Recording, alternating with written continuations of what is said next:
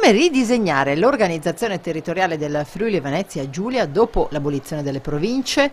La domanda è al centro del dibattito istituzionale di cui è protagonista l'assessore alle autonomie locali del Friuli, Pierpaolo Roberti, chiamato a formulare una nuova riforma degli enti locali. Ma l'interrogativo è stato posto anche agli studenti della prima F della scuola secondaria di primo grado Bianchi di Codroipo, dove un intraprendente insegnante di geografia ha rivolto la sfida ai suoi studenti studenti. Un'idea che nasce? Nasce dalla fantasia di ragazzi curiosi che si sentono cittadini dell'Europa e di Europa in prima normalmente alle medie si parla, di Europa fisica, ma che hanno bisogno per il futuro di un'identità ben precisa, per cui le radici nella propria regione credo che sia bene studiarle.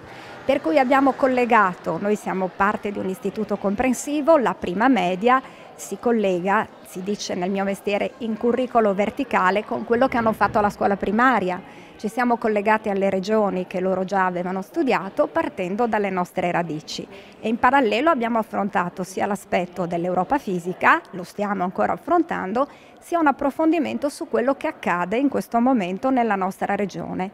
E, ehm, ed è nata una cosa che nel mio mestiere si chiama prova autentica un collegamento tra il dentro e il fuori la scuola. Ne sono nate cinque proposte che ridisegnano il Friuli Venezia Giulia tenendo conto di aspetti geografici e morfologici dell'attività turistica dei principali poli balneari e montani, della densità della popolazione o dell'affinità del tessuto economico. Sì, hanno proposto cinque, differenti, cinque differenti ricette per una suddivisione territoriale eh, come riforma dei prossimi enti locali, quindi una suddivisione in province o cantoni o come vorremmo chiamarle, eh, in base alla geografia, alla morfologia del territorio, ma anche altre proposte inerenti alla tipologia di economia del territorio, quindi per, penso per aree turistiche o per eh, altri sistemi di tipo economico. Quindi sicuramente sono delle proposte proposte molto strutturate, quindi complimenti oltre a loro vanno ovviamente anche gli insegnanti che li hanno seguiti in questo periodo. Assessore Roberti, se potesse cambiare o migliorare qualcosa,